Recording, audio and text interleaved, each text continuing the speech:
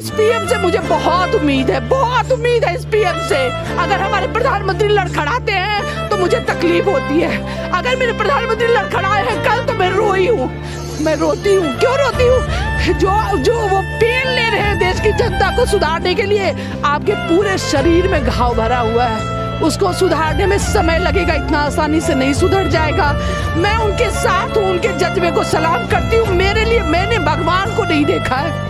मैंने भगवान को नहीं देखा है, लेकिन मोदी जी में मुझे भगवान नज़र आता है।